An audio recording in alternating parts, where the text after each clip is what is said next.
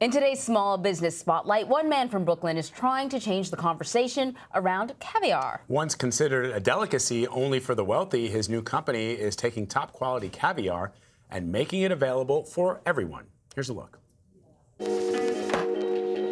Caviar is very instrumental in bringing people together. It's, it's kind of like uh, it has a ceremony with it. it. Traditionally, people, you know, you share a tin of caviar. Um, and we're certainly, we're, we want to bolster that tradition. How are you? I'm Craig Page. I'm the CEO and founder of Pearl Street Caviar. Let's have some caviar with these oysters. Caviar was kind of an everyday food in, in New York. Since then, it's been kind of gilded. What we're trying to do is kind of cut out the middleman, get caviar a little bit more um, well-priced and approachable to kind of more normal, everyday New Yorkers. It's good. Since last summer, we've been trying to take caviar to where caviar hasn't been before, to new audiences. We're actually in the bar behind me, the Grand Banks. Uh, we're also, we've partnered with the NBA Lab to take uh, caviar to NBA arenas. We're at the Raptors home game in these finals. Sometimes with a younger consumer, they taste the caviar and they say, oh, this is, this is grandpa's food, it's not for me. And they take their first bite and they usually want some more.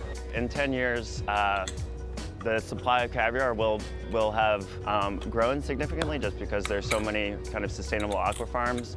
It's just gonna be more readily available. You're gonna see it where you didn't expect it. I was with a buddy in a kind of a divey bar in Brooklyn. the buddy actually had heard that a lot of kind of young um, NBA players were getting into caviar as kind of a delicious snack. And I was like, they're eating caviar. I've never tried caviar. What, what's the deal with this? I did a little due diligence and saw that, you know, it was still kind of being marketed as the food of kings. You know, I learned that actually in New York just 100 years ago, it was, it was on the street, it was in the bar, it was in that dive bar. So we're working to bring it back there. The biggest challenge is kind of the stigma. The young person eating caviar, they think that they, either they have to call their mom and say that it's a big occasion, or they'll feel like they might be being judged as being a little bit hoity-toity.